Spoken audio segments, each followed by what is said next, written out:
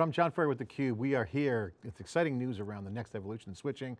Soni Jiandani, co-founder and chief business officer of Pensando, and David Hughes, chief product and technology officer of Aruba HPE. Welcome back. We just heard from Antonio Neri and John Chambers about the HPE Aruba partnership with Pensando and the new switching platform. Tell me more about the, the exciting news you're announcing. Yeah, I'm really excited today to be introducing the CX10000 distributed services switch. It's a brand new class of switch. We are bringing together the best of Aruba's switching te technology, adding to our CX portfolio, combining with Pensando's technology, their ASIC technology embedded in the platform. The problem we're solving is that in a traditional data center, all of those services like firewalling and load balancing are provided by centralized appliances. And while that might be okay for north-south traffic, traffic that's going in and out of the data center, it's not scalable and it's not cost effective to apply to every service and every port, to every flow traversing that data center.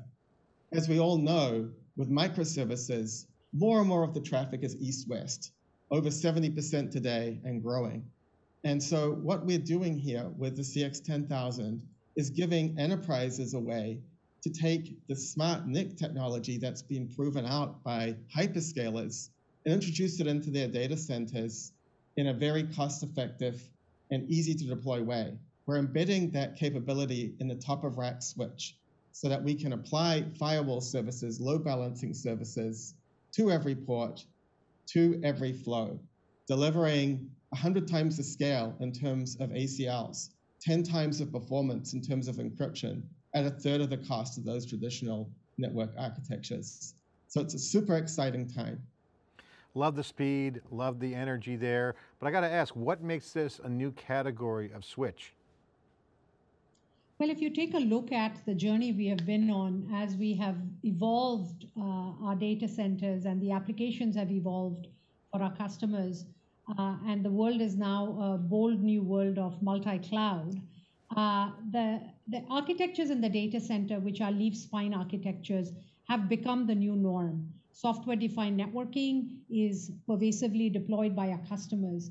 But as this journey began five or seven or even about 10 years ago uh, and has culminated into a much more mature uh, set of building blocks, uh, we have taken the problem from one space of automating networks in the data center to then introducing lots and lots of expensive appliances to bring about security, for example or the stateful services, whether it's load balancing or whether it's encryption and visibility and telemetry types of services. Now the customers had to tr you know, trombone all their traffic in and out of these appliances, driving up the cost uh, and the complexity. And when time comes to troubleshoot these environments, it's extremely complex because you're trying to rationalize fabrics coming from one place, appliances coming from four or five different vendors, maintaining all the software uh, elements that need to be kept track of. Uh, and as more and more customers want to aspire towards a zero trust security model, uh, we need to start to embrace a lot of the principles that have been implemented by the hyperscalers and the cloud vendors, which is doing away with the appliances, doing away with agent technology on servers, but instead to bring that technology for east west uh, into play uh, as well as to ensure that if there are bad actors that are landing inside of the data centers, that they do not have the ability to you know, uh, create attack surfaces with complete lateral movement today that is possible.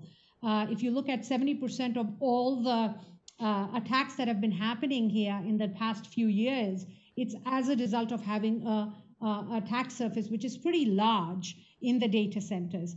And that gets further complicated when you move towards a multi-cloud environment where the perimeter of the data center is now moving into the edge, whether that edge is uh, where the fleet resides for our customers or whether that edge happens to be a co-location edge where you're building your on-ramp and off-ramps.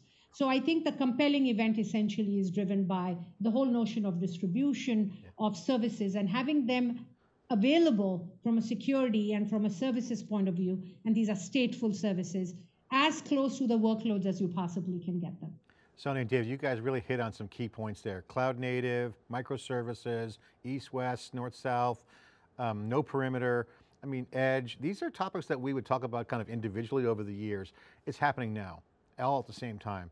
This is causing a lot of complexities and then the security challenges you just laid out are everywhere. This brings up a big conversation around solving this. How does this new architecture, this solution, solve the complexity and the security challenges in the data center? If you look at the use cases that our customers are talking about, uh, the first, the initial use case really is to bring about security and stateful security for east west traffic right into their fabric of their data centers. So, having the ability to deliver that while eliminating the complex appliances only to do the job which they do very well, which is north south uh, protection of services. Uh, that also allows us the ability then to start to deliver visibility and telemetry at the same time that we're delivering stateful security, firewall, and microsegmentation services. Because what I cannot see, I cannot secure. Uh, so those two elements are initial use cases out of the box for our customers as we deliver this platform to them. And then as more and more use cases that are becoming evident to us through customer interactions come into play, for example, the co-location edge, that I would like David to walk you through a bit more in terms of how we help solve for that use case. Yeah, so for the colo use case, you know, I think we're moving from a world where people talk about data centers to now talking about centers of data. And those centers of data, yes, they can be in a core private data center. They could be in the cloud, but more and more, they're going to be distributed around the edge in co-location environments. And what we need to be able to do is extend those services that were provided in the data center to be provided in those colos at the edge. And again, we want to do that without having to deploy a whole rack of appliances that maybe cost more than the computer itself. And so with the CX10000, we can have that as a top of rack switch for that colo, and from that switch, deploy all of the encryption and firewalling services that that colo requires. And what's important is that we're doing it with the same policy framework under the same management system across the whole enterprise in the data center as well as in these co-location environments and out into the cloud. So you guys mentioned visibility. If you mind a quick follow up on this question, because you mentioned visibility, you can't see it, you can't protect it, but also there's a lot of workloads that people are trying to automate. These are two factors. Can you guys just double down on that? I want to just get that out there because I think this becomes a big thing. I think uh, policy, having the ability to have an intent-based policy that is a, a, foundational technology building block that we have brought together uh, is a very important element. And then when you map it back to tools that Aruba is extending support for, including this platform, become very valuable. So, David, why don't you walk us yeah, through that? you know, I think one of the advantages that we bring is that this is an extension of the Aruba CX switching portfolio. So, yeah, it's a cloud native microservices, very modern switch architecture. And we have a comprehensive management platform, the Aruba Fabric um, controller. And so what we are doing is making sure that everything fits together nicely, that we're delivering a complete solution to our customers. Um, but one important thing to mention here is that we're thinking about how customers can do this step by step. So no, we're not requiring them to rebuild their entire data center. They can do this one rack at a time. We can work with their existing spine and de deploy one leaf at a time in a very measured way. And so we think it's a great way for enterprises to be able to consume this modern distributed platform.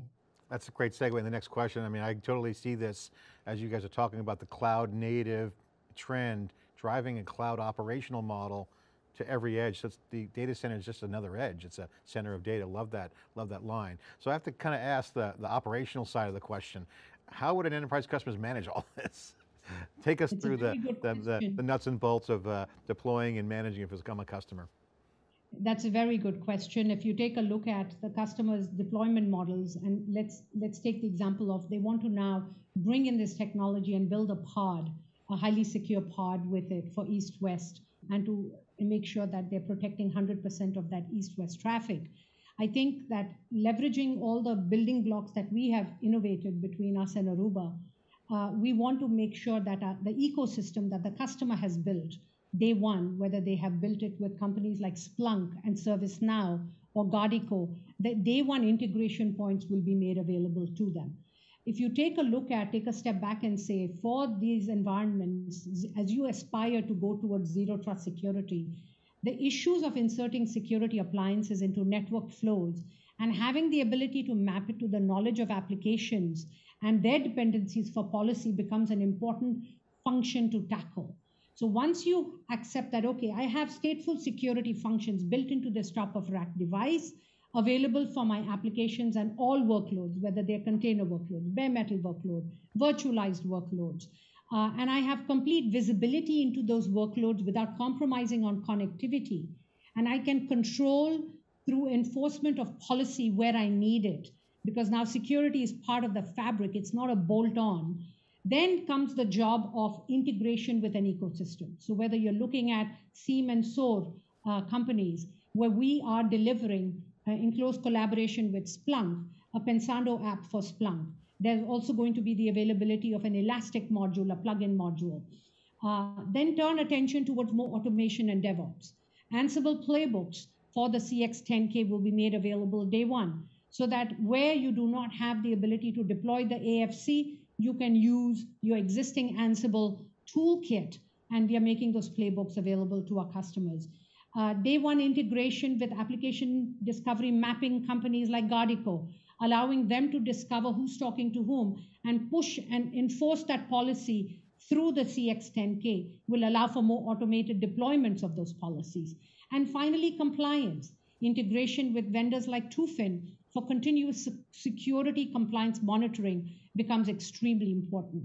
Uh, as the screen depicts, a uh, lot of lot of visualization capabilities with companies like ELK, which are in beta today, and Ansible and Splunk and ELK will all be targeted at first customer shipment.